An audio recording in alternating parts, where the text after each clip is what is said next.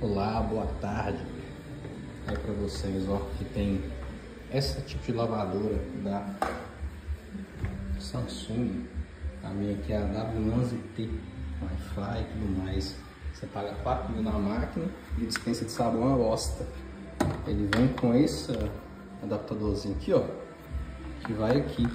Porém, quando você joga o sabão líquido aqui e o da pré-lavagem que vai aqui, na pré-lavagem vai embora, porque o sabão ele escorre, isso daqui não segura o sabão. E eu comecei a perceber que as roupas estavam meio... não estavam lavando direito. Principalmente quando eu colocava pré-lavagem, não saía com aquela qualidade. E eu uso sabão Ariel, então assim, é um dos melhores do mercado, né?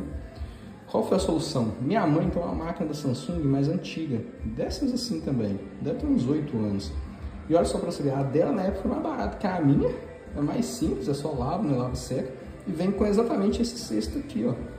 Esse é um cesto removível. Lá dá a opção de colocar o sabão em pó aqui, ou se você for usar sabão líquido, você usar o cesto. A Samsung, por algum motivo, quis economizar no cesto e não mandou esse, esse bagulhozinho aqui, ó. Aí eu achei na internet, comprei e agora é resolvido. Você joga o sabão aqui até o nível que você quer e posteriormente, na hora que a água cai aqui, ela desce. Aí agora tá resolvido o problema. Um lavador de quatro contas que eles não mandam esse trem. É um absurdo.